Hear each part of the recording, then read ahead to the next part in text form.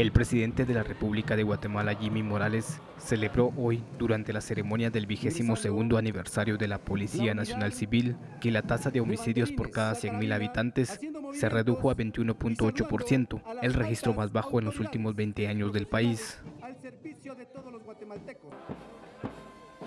Hemos, de enero a la fecha, hemos logrado la incautación de 11.94 toneladas de droga, la desarticulación de 41 estructuras criminales dedicadas al tema del sicariato, extorsión, robo. De una pieza marcial avanza. Gracias al trabajo y esfuerzo de la Policía Nacional Civil, hemos dado pasos agigantados.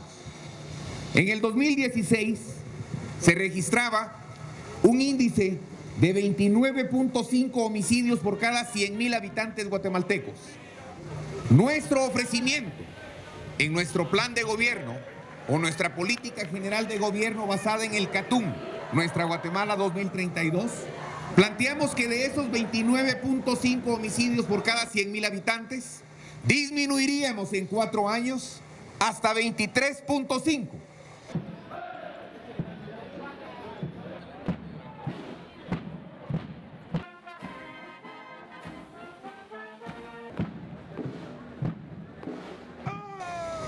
Gracias al esfuerzo en los primeros 18 meses, combinados ejército y policía, y a los siguientes 24 meses, solo la policía, no solamente hemos bajado esa meta, sino que hemos logrado descender hasta, las, hasta el mes pasado a 21.8.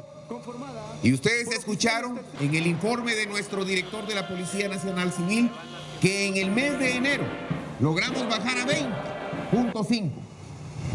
Lo más alto, o mejor dicho, el rendimiento más alto y el índice más bajo de nuestros últimos 20 años de historia en seguridad guatemalteca.